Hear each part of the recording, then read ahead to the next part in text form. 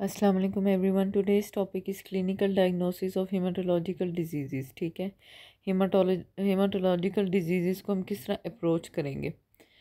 सबसे पहले तो देखें हेमाटोलॉजिकल डिज़ीज़ का आपको पता होना चाहिए, वो होते हैं जो ब्लड को इन्वॉल्व करते हैं, ठीक है? R B Cs W B Cs platelet bone marrow lymph node spleen इन सबको जो इन्वॉल्व करती हैं डिज़ीज़ ठीक है? ब्लड की फॉर्मेशन में जो सब चीज़ें रोल प्ले करते हैं उनकी डिज़ीज़ को हम कहते हैं हेमाटोलॉजिकल डिज़ीज़ ठीक है? अभी जेनेटिक भी हो सकती हैं क्वाइड भी हो सकती हैं। अच्छा अब हम किस तरह पेशेंट को अप्रोच करेंगे? तीन चीज़ें हैं हिस्ट्री फ़िज़िकल एग्जामिनेशन और लैब डायग्नोसिस हिस्ट्री पेशेंट की बहुत इंपॉर्टेंट है, ठीक है? आपने पेशेंट से जो है वो बिल्कुल ठीक आपके क्वेश्चंस होने चाहिए ताकि आपको प्रॉपर आंसर्स उससे मिल सके पेशेंट से, ठीक है? आपने उसको गेन करना होता है कॉन्फिडेंस और उससे सारी चीज़ें कह लें उगलवानी होती हैं, ठीक है? अच्छा जी ड्रग्स और केमिकल हिस्ट्री के बारे में आप पूछते हैं, ठीक है, जो कि हेमाटोलॉजिकल डिज़ीज़ को एग्रेवेट कर सकते हैं, ठीक है, कोई केमिकल एक्सपोजर है, कोई उसने मेडिसिन तो ऐसी नहीं ली, जिस तरह कुछ लोग हकीमिक मेडिकेशन के साथ हमारे पास ए प्लेजिया के साथ आते हैं, ठीक है तो केमिकल एक्सपोजर कोई फैक्ट्री वर्कर्स कुछ ऐसे हैं जिनका केमिकल एक्सपोजर ऐसा है कि उनको ऐसे डिज़ीज़ हो जाती हैं, ठीक है तो ये आपने पूछ लेना है। और पेशेंट से जो है वो, जो भी वो मेडिसिन वगैरह लेता रहे, उसके बारे में पूछना है। जो भी ये पेन किलर्स बहुत ओवर यूज़ करते हैं, उनको भी प्लेजिया हो जाता है। तो ये आपने सारी हिस्ट्री पूछ लेनी है, ठीक है? उसके बाद आपने नॉर्मल क्रेविंग पाइका के बारे में पूछना है, जो कि आयरन डेफिशिएंसी में होता है, ठीक है? पेशेंट मट्टी और ये जो है इस तरह की एटिपिकल चीज़ें पेंट ठीक है? इस तरह की चीज़ें खाता है, वो आपने पूछ लेना है। उसके बाद कोई पैरस्थीजिया न्यूरोलॉजिकल प्रॉब्लम्स तो नहीं है जिस तरह बी ट्वेल्व डेफिशिएंसी में होती हैं, ठीक है? और अगर गॉड फॉरबिड कोई कार्सिनोमा पेनिट्रेट कर जाए मेनेंजिस में ब्रेन में तो भी न्यूरोलॉजिकल जो है वो डिज़ीज़ होना शुरू हो जाती हैं पेशेंट को, ठीक है? उसके बाद आपने हकीमिक मेडिकेशन का भी पूछ लिया, उसके बाद आपने फैमिली हिस्ट्री का पूछ लेना है, कोई हेमोरोलॉजिकल डिज़ीज़ का, कोई सिकल सेल हीमोफीलिया, ऐसा तो नहीं है, ठीक है। उसके बाद ट्रैवल हिस्ट्री पूछनी है, जिसमें मलेरिया होता है तो उसमें पेशेंट जो होता है, उसकी ट्रैवल हिस्ट्री होती है वो, ठीक है। मार्शी प्लेसेस में या ऐसे एरियाज़ में वो रह के आ रहा होता है, ठीक है। उसके बाद आपने डोमिनल पेन का पूछ लेना, कोई लम्ब तो नहीं है, ठीक है। अगर स्प्लिनोमगैली हिपेटोमगैली है, वो आप पेलपेट वगैरह जो है वो ख़ुद भी करेंगे और उससे पूछेंगे भी कि आपको कोई एबडोमिनल पेन तो नहीं है, उसके बाद ब्लीडिंग टेंडेंसी पूछेंगे कि ब्लड जो है, जब भी कोई कट वगैरह लगता है तो बहुत ज़्यादा टाइम लगता है। ठीक है सडन ब्लाइंडनेस और डेफनेस का पूछेंगे। सी एम एल के पेशेंट अक्सर हमारे पास ब्लाइंडनेस के साथ आते हैं, ठीक है? तो वो आप पूछ लेंगे। उसके बाद सडन डेफनेस जो है, ये भी कुछ लिम्फोमाज में होती है, ठीक है? तो ये आपने पूछना है। अभी कुछ अर्सा पहले मेरे पास एक मेडिकल स्टूडेंट आई थी तो उसको जो है वो डेफनेस थी सडन, ठीक है? तो जब हमने उसका स्मीयर किया तो उसमें उसको ब्लड कैंसर ठीक है? उसके बाद फीवर के बारे में आप पूछ लेंगे, ठीक है? कोई इन्फेक्शन जो है न्यूट्रोफिलिक ल्यूकोसाइटोसिस में जिस तरह होती है नाइट स्वेट्स ट्यूबरकुलोसिस में और ये लिम्फोमास वगैरह का, ठीक है? उनमें फ़ीवर होता है तो आप पूछ लेंगे। वेट लॉस के बारे में पूछेंगे पेशेंट से लाइक ये वेट लॉस होता है कुछ सर्टन ल्यूकीमियाज में। ठीक है, उसके बाद फिटीग एंड वीकनेस के बारे में पूछेंगे, जो कि अनीमियाज में हम देखते हैं, ठीक है मसल वेस्टिंग और न्यूरोलॉजिकल कॉम्प्लिकेशन ये सारी हिस्ट्री आपने लेनी है, ठीक है। सिम्टम्स और साइंस जो हैं, वो स्पेसिफिक ऑर्गन को जो है, वो अगर इन्वॉल्व कर रहे हैं, ठीक है लाइक कॉर्ड कंप्रेशन है, ठीक है, वो आप उसके बारे में कर लेंगे और इंटेस्टिनल ऑब्स्ट्रक्शन है, ठीक है, कोई एबडोमिनल लिम्फोमा है, यानी कि उस एरिया का आप जो है, वो एग्जामिन करेंगे, अगर आप सस्पेक्ट करें ठीक है। तो ये आप सारा पूछ लेंगे।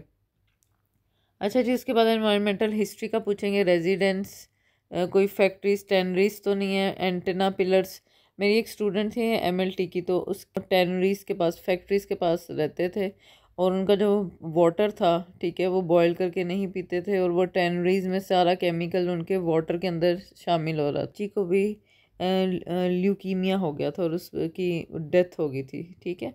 तो ये जो है अगर हो जाते हैं पाइप्स मिक्स तो ये बहुत ज़्यादा लीथल प्रूफ होता है, ठीक है? इसी तरह जो एंटेना पिलर्स होते हैं, ये सिग्नल्स के लिए, ठीक है?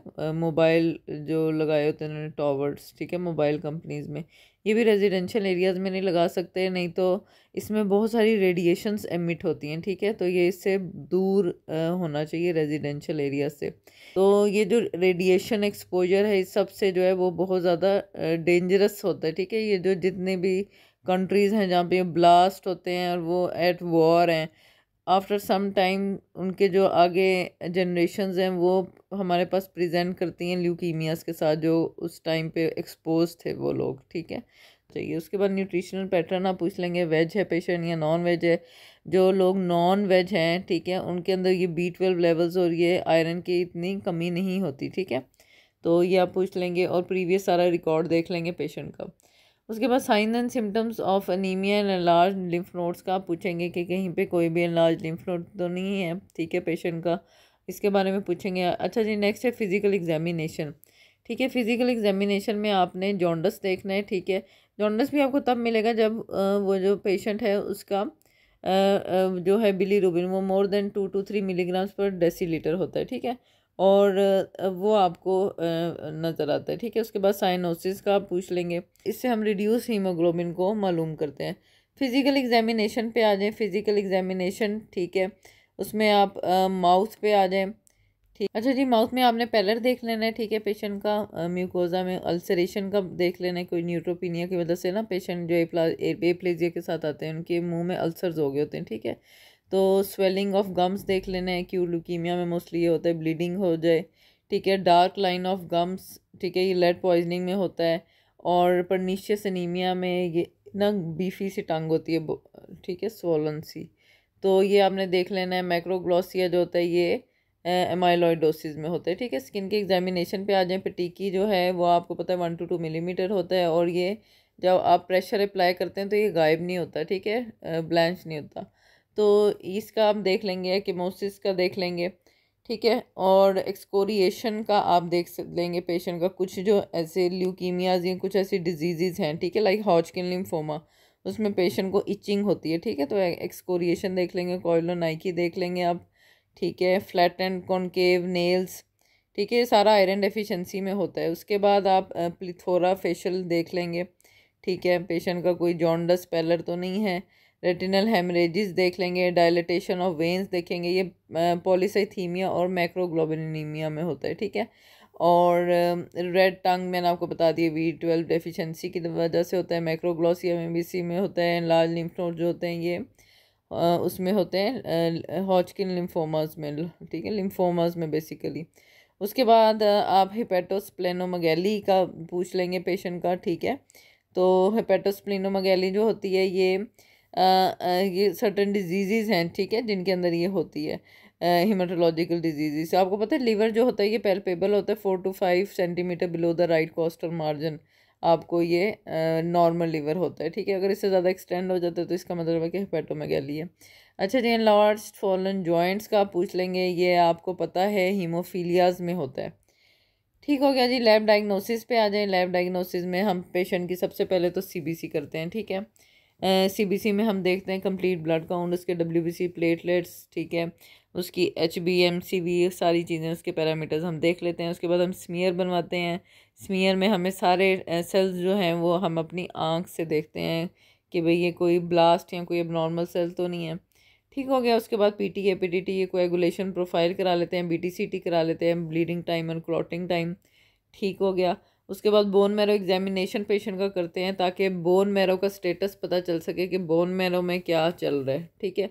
अगर ब्लड नहीं बन रहा पेशेंट की सारी चीज़ें कम है तो हो सकता है उसको ए प्लास्टिक अनीमिया हो, ठीक है? अब कई बार सारी चीज़ें नहीं भी बन रही होती और पेशेंट जो होता है, उसका डब्ल्यू बी सी काउंट भी बहुत हाई नहीं होता, लेकिन बोन मैरो में ब्लास्ट पड़े होते हैं, वो बोन मैरो पैक हुई होती है ब्लास्ट से, ठीक है? तो वो हम सारा जो है, वो बोन मैरो पे ही असेस कर सकते हैं, ठीक है? उसके बाद जो है वो पेशेंट का फ्लो साइटोमीट्री हम करवा सकते हैं ठीक है? आ, उसके बाद इम्यूनोफिक्सेशन करा सकते हैं इम्यूनोफिक्सेशन जो होता है इसमें सारी प्रोटीन्स का वो हो, आ, होता है ठीक है? लेवल्स हम चेक करते हैं मल्टीपल माइलोमा में मोस्टली करते हैं एच बी इलेक्ट्रोफोरिसिस करा लेते हैं सिकल सेल डिज़ीज़ थैलेसीमियास के लिए जेनेटिक्स जो होते हैं वो भी आ, करवा सकते हैं P C R malarial parasite और रेटिकुलोसाइड काउंट और ये सारे जो टेस्ट हैं ये हम करते हैं। और जो भी इंडिकेटेड होता है, ठीक है? फिर ये सारे के बाद हम पेशेंट के एक क्लिनिकल उस पर डायग्नोसिस पे आ जाते हैं कि भाई इसका ये डायग्नोसिस है।